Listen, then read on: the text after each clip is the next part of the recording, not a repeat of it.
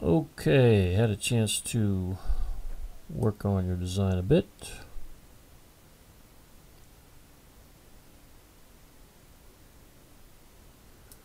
Starting from the left side of the kitchen.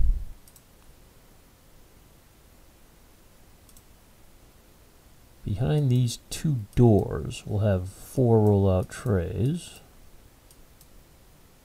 Behind these two doors will have adjustable shelves. I think they'll give you two of them. This is a 90 inch tall cabinet. We're making the assumption that your ceiling height is 95 inches. At the unvaulted area, that would be something that I would confirm with Gray Construction refrigerator wall cabinet here.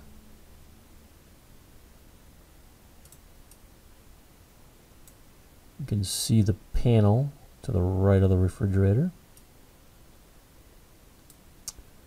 Wall cabinet. You can see the under cabinet molding that I that treatment looks rather nice. I'll show you the profile, a closer look at the profile in my estimate. Actually, I think I'll show it to you now.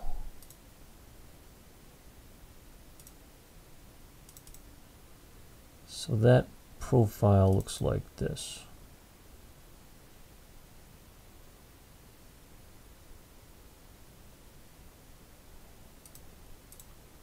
Under cabinet molding.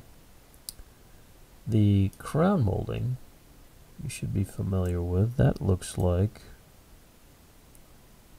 this.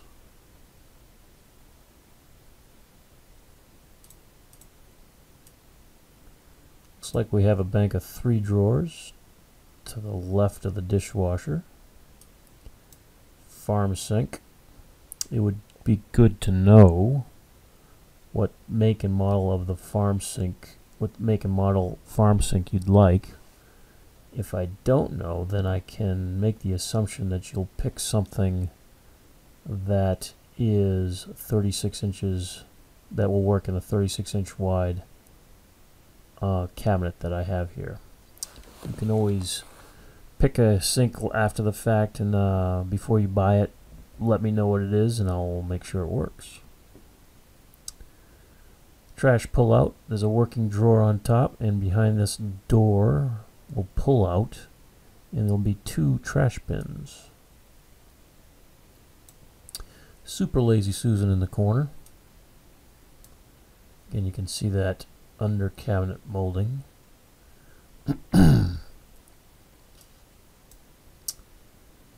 More crown molding.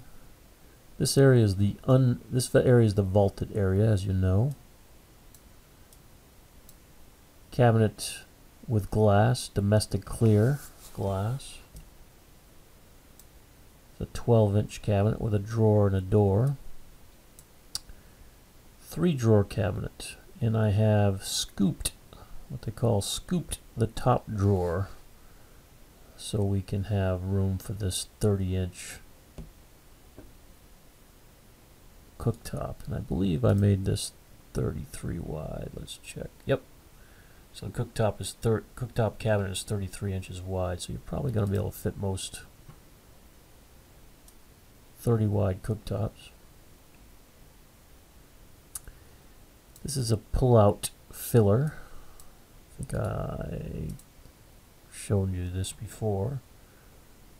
Let's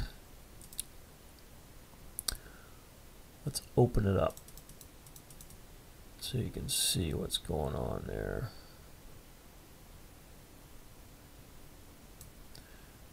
So you can see the pull-out filler. It's a six-inch cabinet, but that filler storage area is probably about four inches, I'm going to guess. Four and a half, maybe. We have another 12-inch cabinet next to it with a drawer and a door. Your oven cabinet. Again, pretty important to know what your oven um, is going to be the island. I've got a baseboard treatment. Let me show you what that looks like. Looks right here.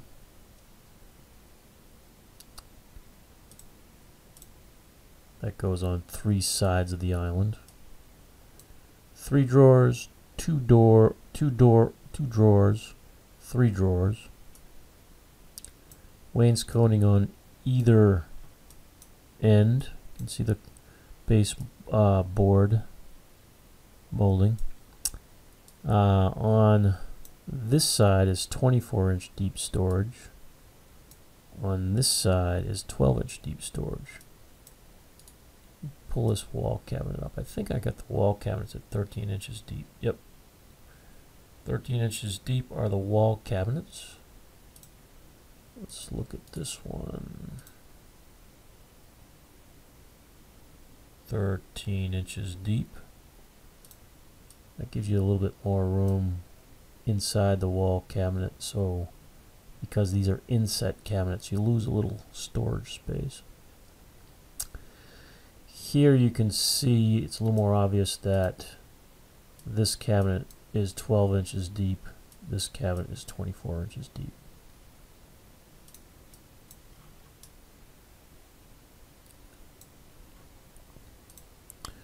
I'm going to hit the color button.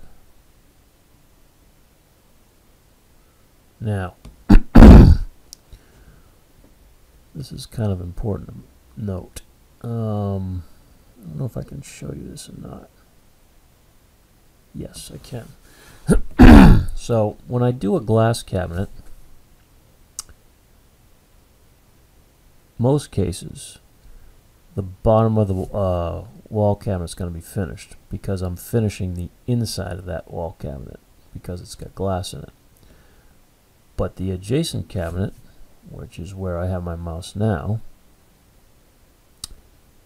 there isn't really a great reason to finish the interior of the cabinet because there's no glass. But if you notice that the bottom of the cabinet is uh, got a brown wood grain finish on the cabinet that doesn't have glass. But over here, the bottom of the cabinet is finished like the exterior because it has glass and because the interior of the cabinet is finished. So I just want to be, I don't want you to have a surprise there. Now, that is the reason why we have one of the reasons why we have the under cabinet molding. So if you're sitting down, if you're standing, you're not going to see that brown underneath the bottom of the wall cabinet. If you're sitting somewhere in this room, you might see that brown part of the cabinet. Can't really, you're going to be able to see it here, I think. Yeah, right where my mouse is pointing, you can see that's brown instead of gray. But I don't think it's going to be an issue as long as you have the under cabinet molding.